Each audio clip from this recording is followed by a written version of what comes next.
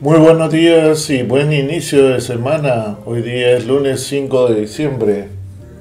Vamos a ver el análisis del Nasdaq Futuros. Vamos a empezar, como siempre, por el semanal. Para ver qué hizo la semana pasada. Esta es la semana pasada, esta vela verde que ven acá, grande, que casi llega a nuestra resistencia. Esta es la semana pasada, o sea, semana positiva. La semana pasada, pero todavía metida en un rango, ¿no? Pequeño, como pueden ver, de tres velas. Hoy día es esta vela, o mejor dicho, esta semana que inicia es esta vela roja, pequeña, ligeramente negativa, claro, porque vamos a ver el, en el diario, eh, van a ver que es esta vela de acá. Ok, entonces está metida en la del día viernes. Casi nada se ha movido durante la noche. No me extraña porque estamos acercándonos a la fiesta de fin de año y normalmente el mercado se comporta de esa manera. Eh, bastante. Eh, un poco, poco volumen, un poco errático. Sin una dirección clara. Ese es más o menos cómo se comporta los índices americanos durante las fiestas de fin de año. ¿no? El volumen va bajando también. ¿ok? Normalmente es también que tengamos un rally hacia el 25 de diciembre, 26 y 27, eh, porque el consumo aumenta y por lo tanto el consumo por, la, por las mismas fiestas aumenta y por lo tanto uh, todos los índices tienden a subir, eso se llama el rally de Santa Claus, uh, tienden a subir hacia el 25 de diciembre, ¿no?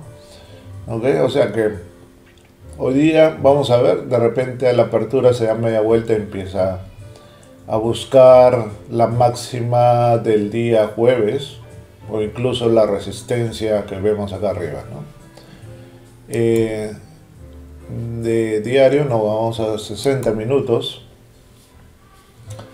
Uh, y ahí lo tienen bastante lateral, ¿no? Mm, vamos a dibujar un canal. Uh, algo así.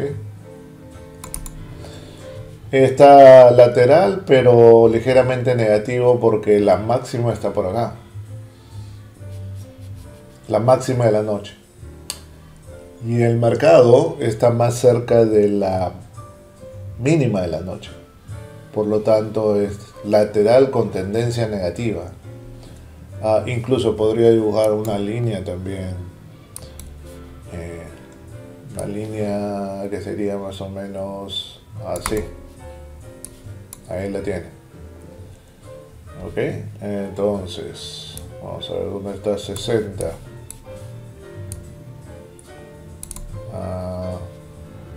Siempre ya tengo poca data.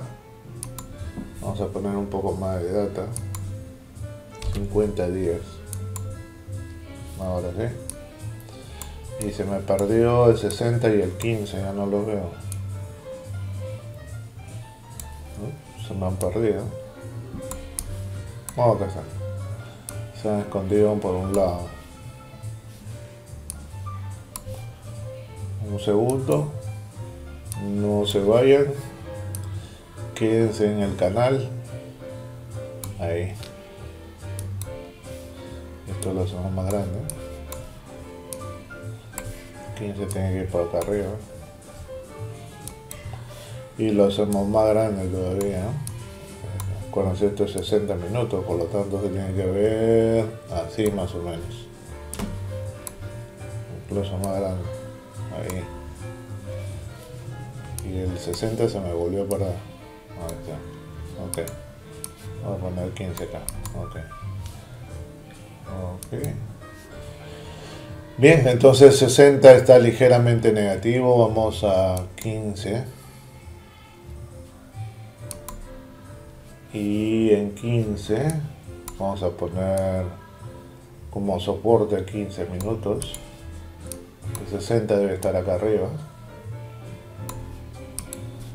Bien. y uh, lo dejamos en 5 5 minutos y lo ponemos por un lado. Ahí.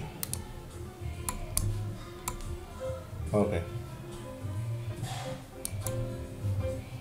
Eso lo ponemos ahí ahí ok entonces acá vamos a, la derecha, vamos a buscar uh, soportes y resistencias, ¿no? Como siempre. Ok, pivote es un soporte. Eh, abajo debe haber otro soporte. Ya, S1, está bien abajo. Ok, entonces este de acá es un buen soporte, pivot.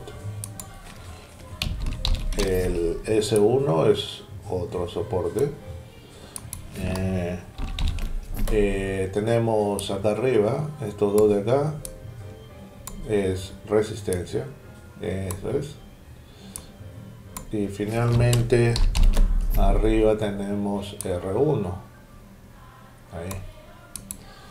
Entonces acá lo que vamos a esperar es que el mercado salga de esta zona neutra durante el día, muy posible después de la apertura vaya a buscar la mínima de la noche y quizás tratar de romperla. Puede ser. Tengan cuidado que a veces el mercado rompe ligeramente el pivot y después se regresa y comienza a subir fuerte, fuerte, fuerte. A veces hace eso. O sea, tienen que esperar a que agarre una tendencia, velocidad, fuerza y que continúe bajando como para tratar de buscar una buena cantidad de puntos hacia ese 1. ¿ok? Si de lo contrario el mercado sube, va a tratar de romper esta zona de resistencia y quizás ir a buscar R1. Sería así. ¿Ok?